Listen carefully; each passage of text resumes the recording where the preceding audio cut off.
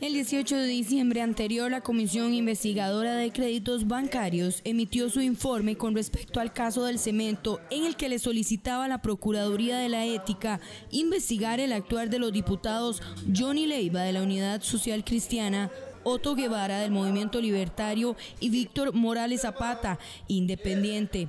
Según la diputada Patricia Mora, los informes por parte de la Procuraduría de la Ética ingresaron el 5 de febrero al directorio legislativo, esto para ser entregado al plenario. Pero este no se dio, pues por orden del presidente de la Asamblea Legislativa estos fueron archivados y sin acceso de los legisladores a los mismos. Durante este lunes, la Procuraduría de la Ética Pública emitió un pronunciamiento en el que regañaba a dicho directorio por engavetar tres investigaciones contra estos tres diputados, quienes habrían incurrido en supuestas faltas a la ética pública. Entonces presenté un amparo la semana pasada y desde la semana pasada también había presentado una moción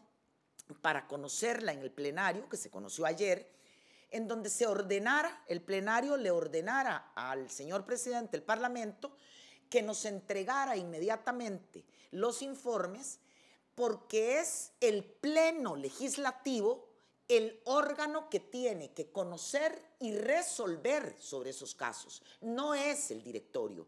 El presidente del primer poder de la República afirmó que el procedimiento realizado en un principio era el indicado por los servicios técnicos de la institución, esto al no poder sancionar a los diputados. Al no haber un régimen sancionatorio, entonces se tomaba la decisión de acuerdo al criterio de servicios técnicos de... Eh, mandarlo a un archivo porque no hay régimen sancionatorio.